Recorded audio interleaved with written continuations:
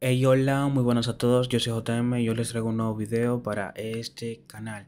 El video de hoy trata de cómo descargar e instalar el DirectX 11, tanto para Windows 11, para Windows 10 y cualquier otro Windows desde la web oficial.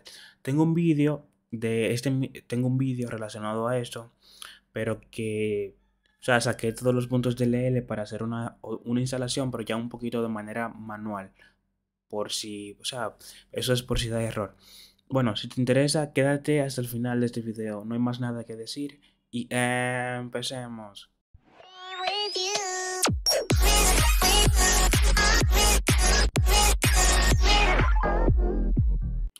Lo primero que tienen que hacer es irse a la descripción de este video o seguir los pasos de este video.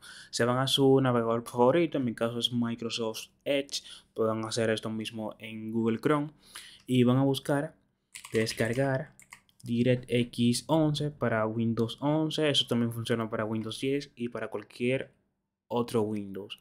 Entonces le vamos a dar clic aquí, buscan esto en su navegador favorito, descargar DirectX 11 y se van al primer enlace que es ir a descargas. Entonces esperan hasta que termine y eh, deslizan un poco hacia abajo y aquí seleccionan el idioma. En este caso yo lo voy a poner en español. Eh, español y le dan a descargar. La descarga es bastante rápida. Esperamos hasta que inicie para guardarlo. Vamos a esperar. Vamos a darle a descargar otra vez. Y ahí está. Le damos a guardar como y en mi caso lo voy a guardar en el escritorio. Le damos a, vamos, esperamos hasta que se descargue y aquí está en el escritorio. Le damos doble clic, se va a ejecutar como administrador y le damos a que sí. Entonces, si quieren se leen el contrato, le dan luego acepto el contrato. Eh, si quieren pueden dejar esto habilitado, pero en mi caso eh, a veces cuando lo tienen habilitado suele dar error y lo deshabilitan esto. Esta parte la deshabilitan y le dan a siguiente.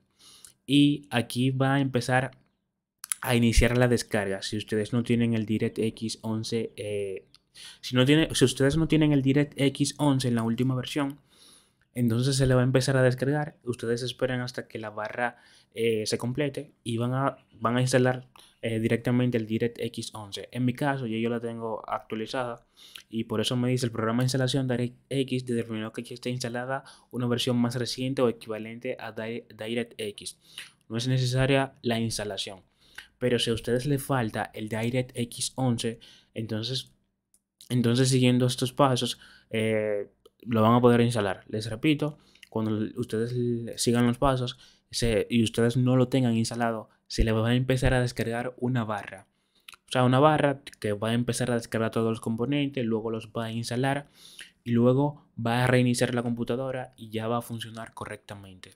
Nada, si este video te sirvió, deja, deja tu like, suscríbete a este canal, comparte el contenido con una persona que esté pasando por el mismo problema y si tienes cualquier problema, eh, deja un comentario. Y nada, y nos vemos en un próximo video.